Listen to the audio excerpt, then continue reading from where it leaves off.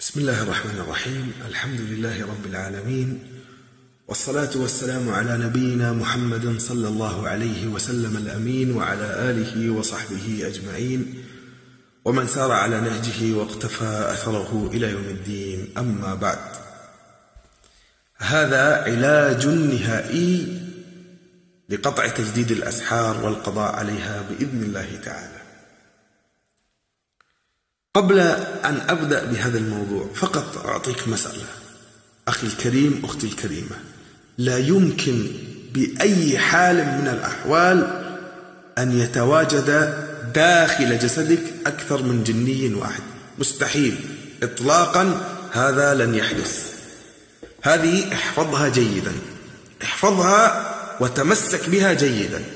خدام السحر وحراس السحر ممكن أن يكونوا من الخارج ويؤثرون على يعني على أفراد بيتك أو على مثلا إنسان مصاب بالتعطيل في موضوع الخطوبة يؤثر على الجهة الأخرى أو إنسانة عندها تفريق وحراس السحر وخدام السحر مثلا يكون الزوج غير مسحور فيؤثرون عليه من الخارج هذا ممكن. أما داخل جسدك فاستحالة استحالة ولا يمكن أن يدخل في الجسد أكثر من جني واحد. الدليل يعني أنا شرحت ذلك في فيديو سابق وتستطيعون أن ترجعوا للقناة وفيها تفصيل إن شاء الله تعالى. هذا واحد. أما المسألة الأخرى فانظر لكل مصاب انظر لنفسك أنت. كيف إذا صرعت أن الجن يتكلم بلسانك ويرجف بقدمك والبطن تؤلم واليدين تتحرك الجن يسكن من شعر رأسك إلى أظفر أقدامك. كل جسدك فيه الجن. الجن اسمه تلبس جسد على جسد. طيب يتحكم بعقلك وأحيانا والعياذ بالله بالشهوة أكرمكم الله وفي اليدين وفي القدمين وفي الأعصاب وفي كل شيء. هذا أمر. الأمر الآخر وناس كثير يشتكون من تجديد الأسحار. تجدد السحر صار السحر. كذا كذا. أقول لك مسألة. والله إذا أخذت بهاتين النصيحتين إن شاء الله ما يضرك ولو جددوا لك ألف سحر. وهذه عن تجربة شخصية. أنا جربت على المرضى بنفسي لا أنقل كلاما من غيري إطلاقا. أولا المكان الذي أنت فيه عليك بتحصينه حتى تستفرد بخادم السحر الذي داخل جسدك. وسنأتيك بعد قليل. فقط الآن خلونا مع المكان.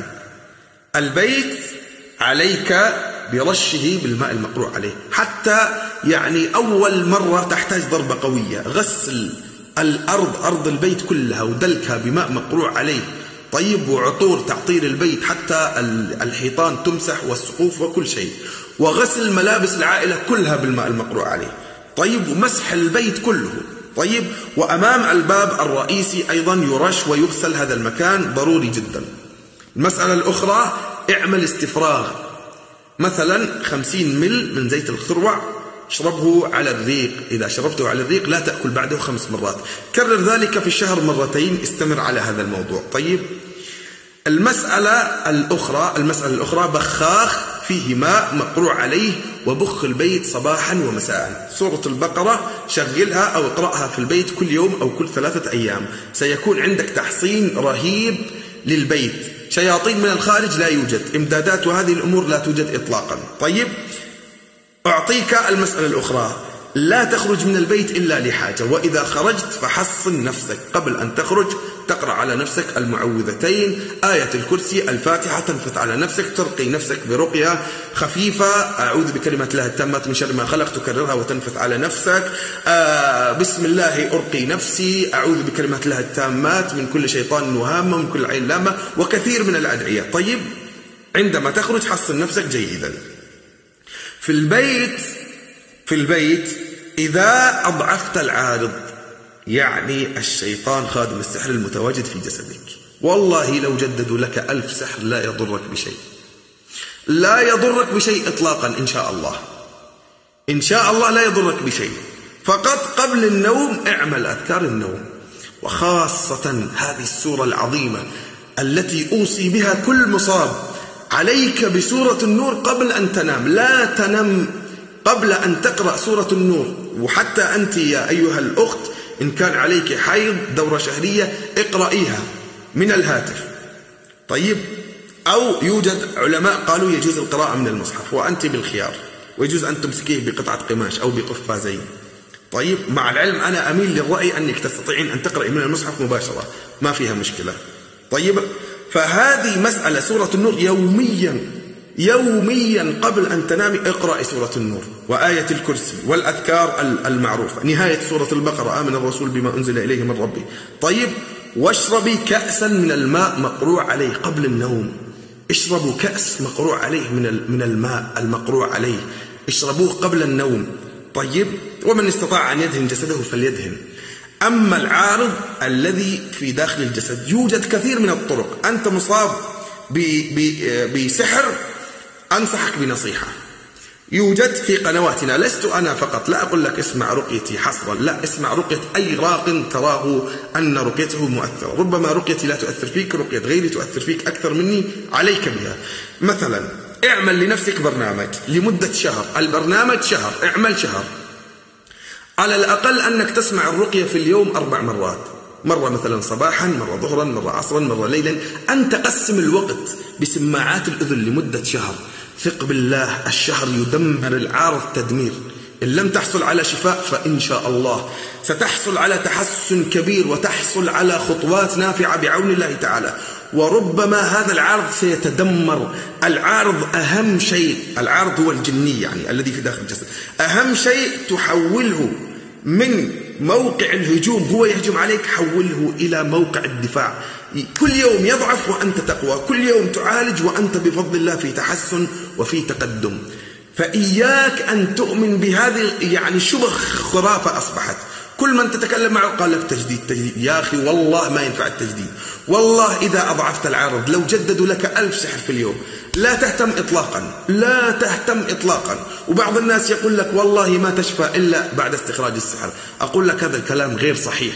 والنبي صلى الله عليه وسلم شفي من غير أن يستخرج السحر في أصح الروايات عند الإمام البخاري. طيب فالموضوع ليس كما يصوره الناس تجديد تجديد تجديد. وهذا موضوع الإطعام المنامي أقسم لك بالله العظيم. ليس كل ما ترى ما ترى نفسك أنك تأكل في المنام أنه سحرت يعني.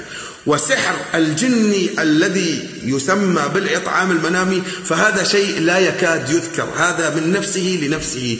فهو ليس كالسحر المعروف هو شيء ضعيف ولا يؤثر فيك. وإذا كنت مستمر على البرنامج فلا تلتفت له. أكلت شربت عادي إطلاقا لا تتأثر. واتبع هذه الخطوات وإن شاء الله ستحصل على نتيجة بإذن الله تعالى. فقط اترك من الخوف ومن كثرة السؤال ومن كثرة الكلام. اضغط على العارض لو جلست في اليوم وسمعت الرقية أربع مرات وسورة الجن الله أكبر كم هي تقضي على الشياطين. يعني بعض الناس يقول ما أستطيع أن أقرأها من قوتها وشدتها بفضل الله سبحانه وتعالى. قاتلة مهلكة يوميا اجعل لنفسك مثلا عشر مرات تقرأها بصوت مرتفع. مثلا خمس مرات صباحا خمس هي خمس مرات نصف يعني ما تأخذ منك نصف ساعة. خمس مرات يعني نصف ساعة في الصباح نصف ساعة في المساء. قبل أن تنام سورة النور آية الكرسي كأس من الماء المقروع عليه نهاية سورة البقرة. يوميا تشغل سورة البقرة تبخ البيت بالماء المقروع عليه.